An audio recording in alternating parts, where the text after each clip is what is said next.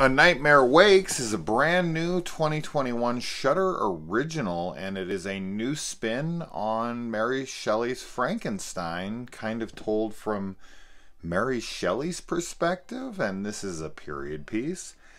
And, um, I mean, as far as the story goes, we follow Mary Shelley and we follow a romantic relationship that she is in with a man who is very questionable, and she's trying to write.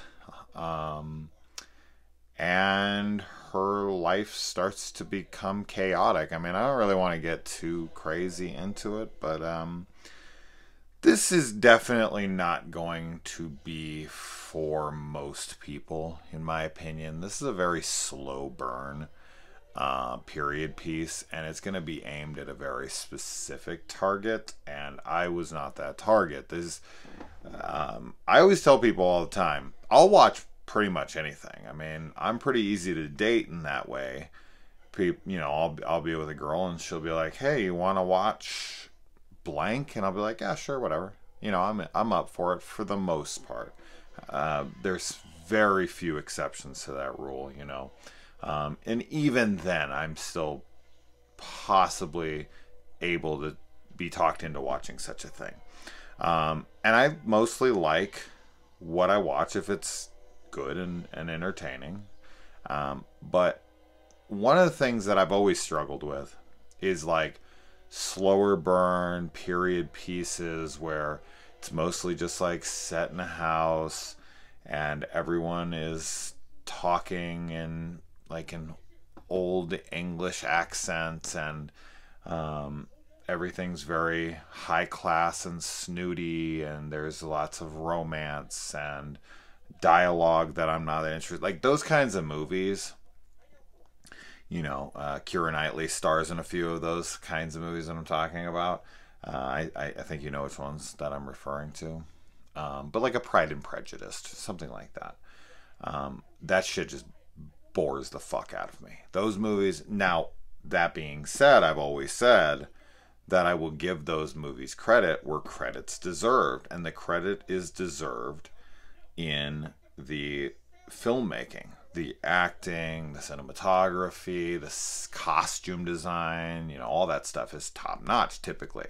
So on, you know, from a technical level, I can sit there and be like, I'm not going to say it's a bad movie. I mean, those are very well made films, but I personally just don't find any entertainment in them. So I find myself to be bored, and that's not what I watch films for. This film has a very similar kind of, you know, um, opinion coming from me. It's it's lower budget, and that's that can that that shows, but I think the acting is quite good. Um, you know, with the budget they had, I think they did a pretty good job of creating the look of the time um, and the kind of dreary atmosphere that it's going for. I feel like it, it lands. Um, it's more of like a character study or even maybe a mental illness, uh, you know, study. And I just it wasn't that I wasn't into it at all. I liked some of the exploration of this possible mental breakdown that we're watching, and we don't really know exactly what's going on here. But I think anybody who goes into this expecting like a monster film, a creature feature, any of that kind of stuff, you're not getting any of that here at all. This is very much a woman who's writing a novel and then she gets into this relationship with this guy and then she starts to have a little bit of a break mentally. And it's hard to decipher reality from the fiction she's created in her head.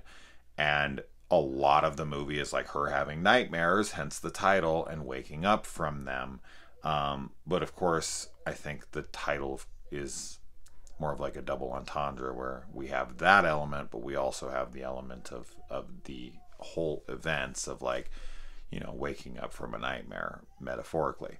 Um, but yeah, I, I just, I think it's a fine film, but I think it's going to bore the shit out of most people like it did me. Unless you're into these kinds of films that are really focused on like one character, period piece, slow dialogue, not a ton happening, so to speak, then this isn't going to be for you.